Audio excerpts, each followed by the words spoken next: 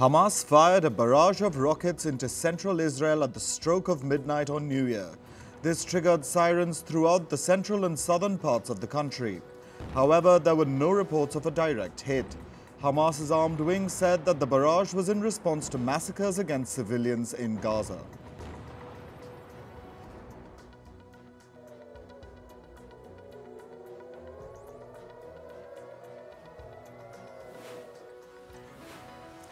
Yemen's Houthi rebel group said that 10 of their naval personnel are dead and missing. This is after three of their boats were attacked by U.S. forces in the Red Sea. The Houthis attacked a vessel from Danish shipping company Maersk in the Red Sea over the weekend.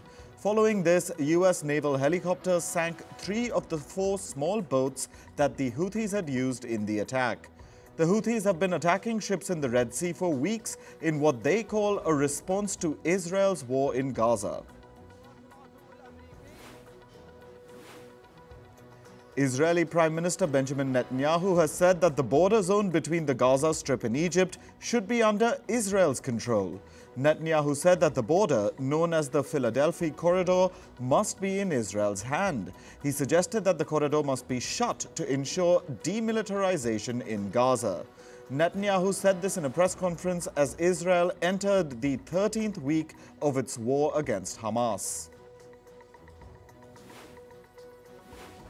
The Israeli military will release some reservists who were called up to fight Hamas in Gaza. The Israeli army spokesperson said that the reservist soldiers will return to their families and their jobs this week. This is to relieve the economy as well as allow the soldiers to recuperate ahead of a prolonged war. Friends of a hostage being held in Gaza by Hamas have organized a dance class in her honor. This was in Tel Aviv's Hostage Square yesterday. 23-year-old Romi Gonen was kidnapped by Hamas during the October 7th attack.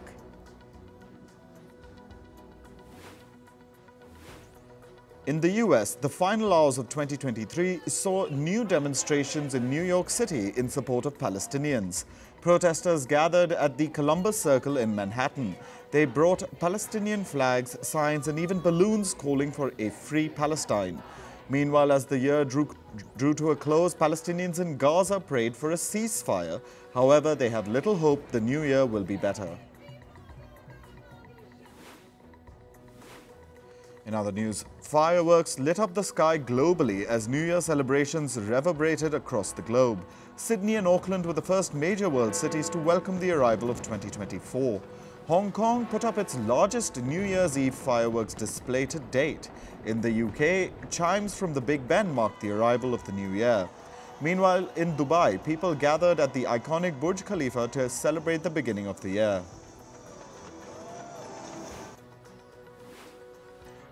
Russia pounded the Ukrainian city of Kharkiv with missiles yesterday.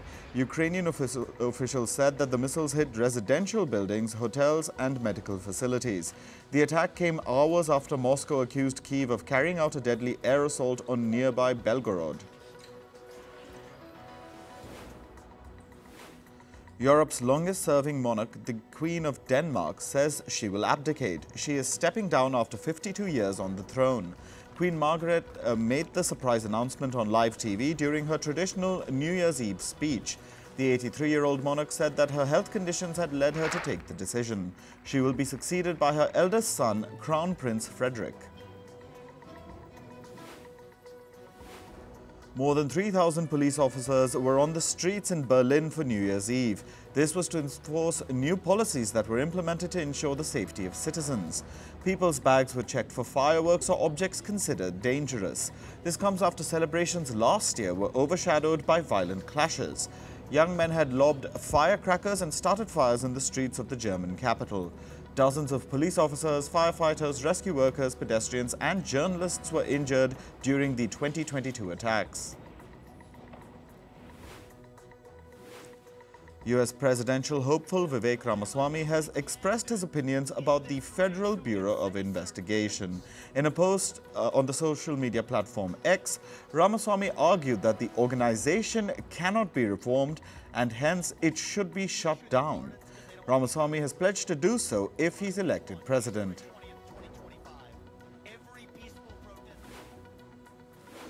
The Democratic Republic of Congo's President Felix Tshisekedi has been re-elected for a second term after a disputed election. The DRC's Election Commission announced that he won more than 73% of the votes. Earlier in the day, a group of the DRC's main opposition presidential candidates asked their supporters to take to the streets and protest after the release of the results. The DRC's opposition wants a repoll. They have called the results a quote-unquote sham.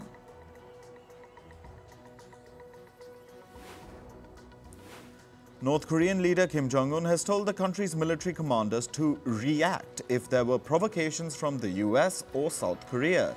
He said that the most powerful means must be mobilized to destroy them if they chose military confrontation. Kim added that the danger of an armed confrontation on the Korean peninsula is becoming a reality. He blamed the escalations on the United States. Taiwan's outgoing president Tsai Ing-wen has said that the country's relations with China must be decided by the will of the people. She added that China should respect the outcomes of Taiwan's upcoming election. Her comments come after China's leader Xi Jinping said Taipei's reunification with Beijing was inevitable. China has been ramping up military pressure to assert, assert its sovereignty claims over the island. However, Taiwan rejects China's claims. In climate news, India's capital New Delhi and parts of the state of Punjab embraced the new year swathed by a cloud of thick fog and cold. A red alert for fog and cold has been issued to both the regions today by the Indian Meteorological Department. Temperatures are expected to be in the range of 6 to 9 degrees Celsius. South Korea's capital, Seoul, experienced the heaviest snowfall in December in over 40 years. The city received snowfall of around 12 centimeters at the end of December. South Korea's Safety Agency has said that there were no casualties in Seoul and its surrounding areas. German Chancellor Olaf Scholz visited flood-hit areas in the federal state of Lower Saxony. He praised the emergency servicemen and volunteers at the scene. According to the authorities, the floodwater has not receded and more rain is expected. Evacuation orders were issued in coastal California as giant waves and choppy waters raised the fear of flooding. The pier at California's Manhattan Beach was also closed because waves rose as high as 6 meters. The Weather Service in Los Angeles issued a forecast of significant flooding in low-lying coastal areas. Eastern Australia is facing continuous thunderstorms with heavy rains, hail and wind. The country's Weather Bureau warned that the rains raise the risk of flash flooding in the region. The Australian government plans to deploy military veterans and retired emergency service workers to aid storm cleanups.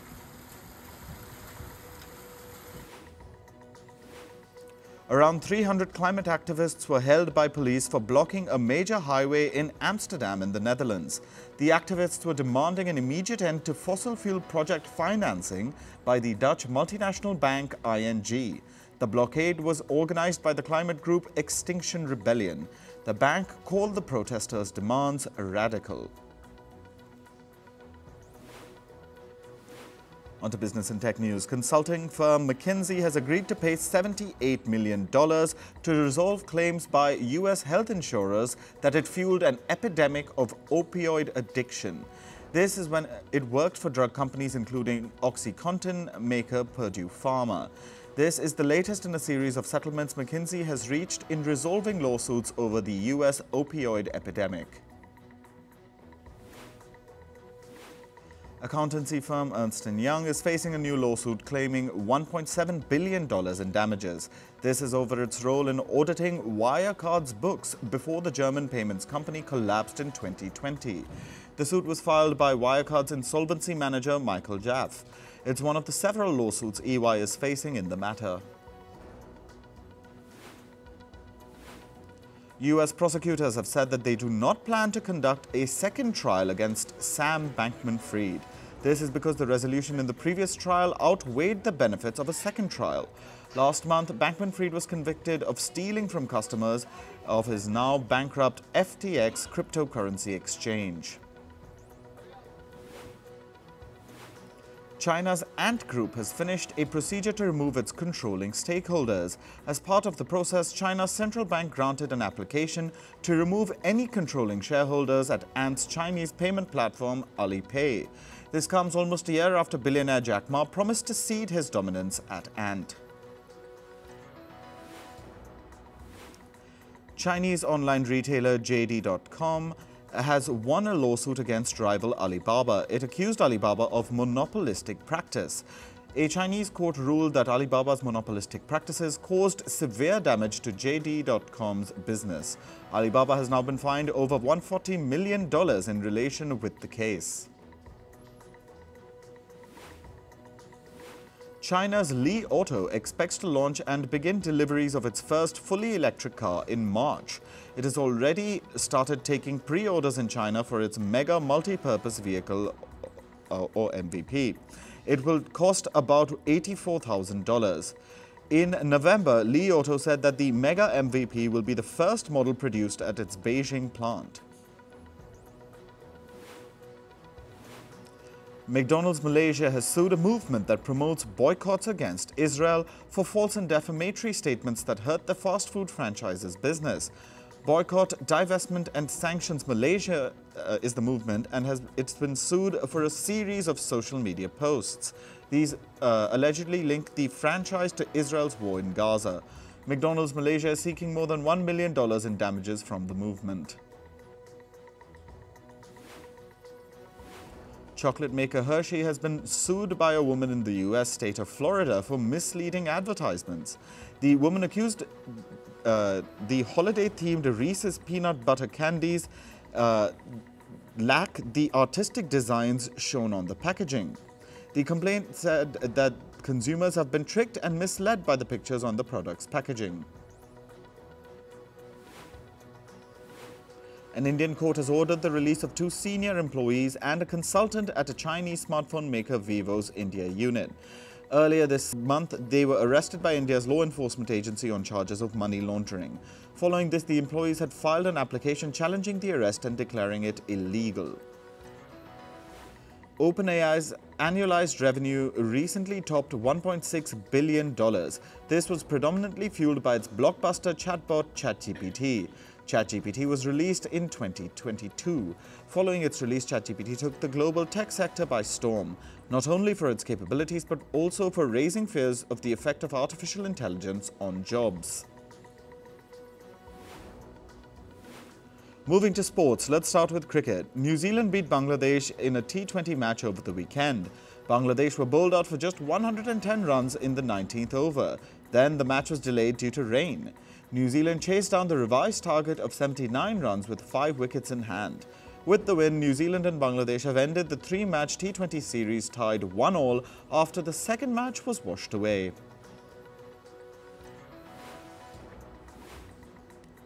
The United Arab Emirates beat Afghanistan in a T20 match last night. The UAE batted first and scored 166 runs in their innings. During the chase, Afghanistan were bowled out for 155 runs in a final over thriller. The UAE and Afghanistan are now tied 1-all in the three-match T20 series. Australian opener David Warner has announced his retirement from one-day international cricket. Warner says that his final 50-over uh, match was the World Cup final against India, which Australia won. Later this month, the 37-year-old will also retire from Test cricket. However, Warner says that he will continue to play T20 cricket for Australia. In football, Fulham beat Arsenal 2-1 in last night's Premier League match. Bukayo Saka scored in the fifth minute to give Arsenal an early lead. Then Fulham equalised in the 29th on a goal from Raul Jimenez. In the second half, Bobby Cordova-Reid scored the winning goal for Fulham. Tottenham Hotspur beat Bournemouth 3-1 last night. The Spurs ended the first half with a 1-0 lead. In the second half, Heung-min Son extended the lead for Tottenham in the 71st. Just nine minutes later, Richarlison scored again for Spurs. Bournemouth managed to net one goal in the 84th minute on a strike from Alex Scott.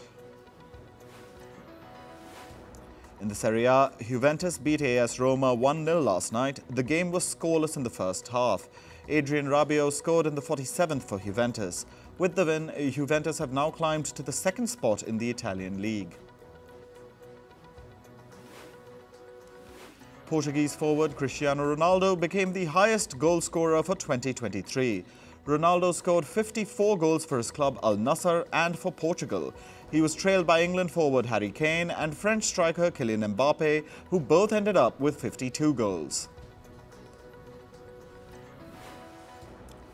Argentina will retire the jersey number 10 in honor of Lionel Messi. According to Argentine officials, no other player will be allowed to wear the jersey number 10 once Messi retires. Argentina have already tried once to retire the jersey number 10. However, FIFA rules say that teams must use the numbers from 1 to 23.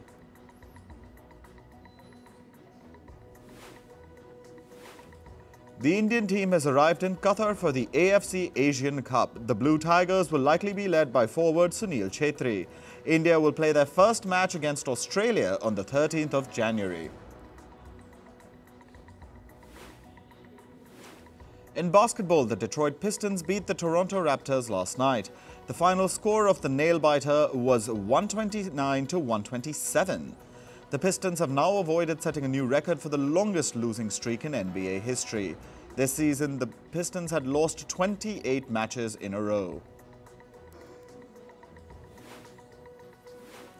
In entertainment news, Taylor Swift has broken Elvis Presley's record for the most weeks at number one on the Billboard 200 album chart for a solo artist.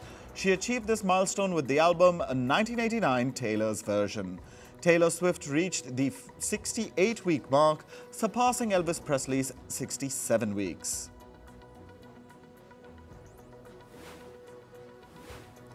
Rapper Snoop Dogg will join NBC's coverage of the 2024 Paris Olympics. He's expected to provide a unique take on the events at the athletic extravaganza. The rapper expressed his excitement about celebrating the athlete's skills and bringing his distinctive style to the event. Snoop Dogg says, and I quote, it is going to be the most epic Olympics ever. Singer Dua Lipa concluded 2023 with a trip to India. She posted a carousel of images on social media, giving a glimpse of her time in the country.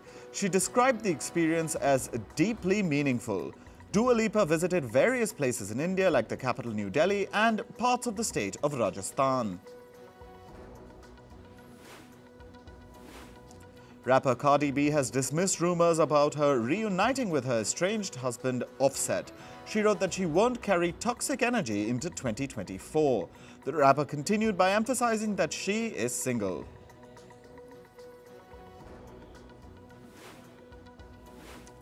Singer Paula Abdul has filed a sexual assault lawsuit against British TV executive Nigel Lythgoe. She accused Lythgoe of assault during their collaborations on talent shows like American Idol. Abdul cited the fear of job loss and contractual restrictions for not taking action earlier. Lythgoe has denied the allegations. Actor Jamie Dornan recounted his most frightening fan encounter. He said that after he gained fame because of Fifty Shades of Grey, a fan appeared at his house where his children were also present. Dornan says he tries to block all the noise associated with fandom so that it doesn't affect him and his family. Game of Thrones creator George R.R. Martin has revealed plans for three animated series set in the world of A Song of Ice and Fire. Martin wrote about this in his new blog post. The shows are yet to be greenlit by HBO, but the work is reportedly in progress. Game of Thrones is, is an adaptation of the fantasy novel series A Song of Ice and Fire, written by George R.R. Martin. Warner Brothers' Wonka has surpassed Aquaman 2 and The Color Purple at the box office during the New Year's weekend. As of December 31, 2023, Wonka made $142 million domestically in the US and $386.9 million worldwide. According to reports, Aquaman 2 stands at, global, at a global collection of $258.3 million and The Color Purple at $50 million. Comedian Dave Chappelle's new special, The Dreamer, started streaming on Netflix yesterday. The comedian's new show explores a broader range of topics compared to his earlier shows. While less focused on specific communities, he still addresses marginalized groups, including the disabled. The Dreamer is the comedian's seventh stand up special exclusive to Netflix.